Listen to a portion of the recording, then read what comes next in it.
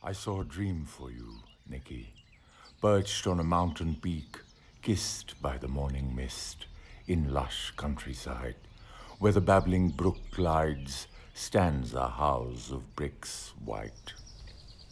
You drink the milk I milked fresh from the cow, amused, watching me in the distance plough.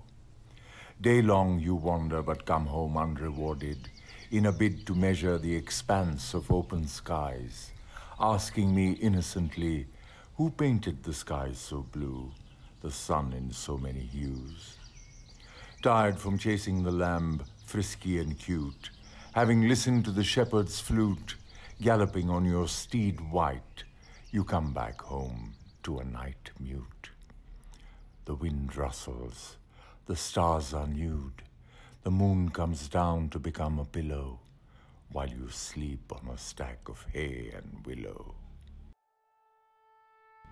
But in reality, what I give you is a matchbox flat in a concrete jungle of cement and steel, polluted water, powdered milk, smoke and soot, trains with crowd as loot, a tired sun, a pale moon, neon lights Dunlop pillows.